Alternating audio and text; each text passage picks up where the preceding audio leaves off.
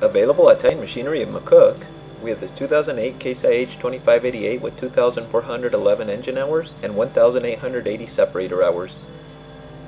The drive tires are dual Firestone 480 80R42s, and the steering tires are Firestone 570R24s. This unit has a heavy-duty rear axle. It also has 8 rear weights.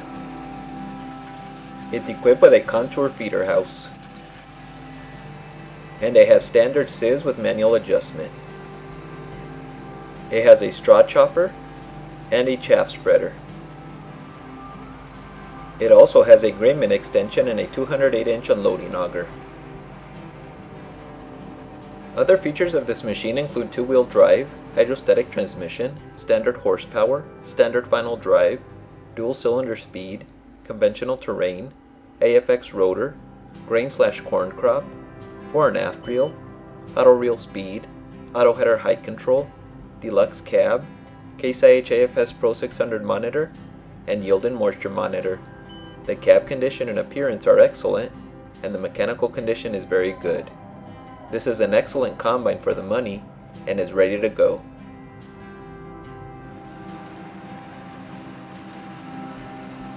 If you're interested in this combine or any other piece of equipment, please contact our sales department at 308 345 4890 or visit us on the web at titanmachinery.com.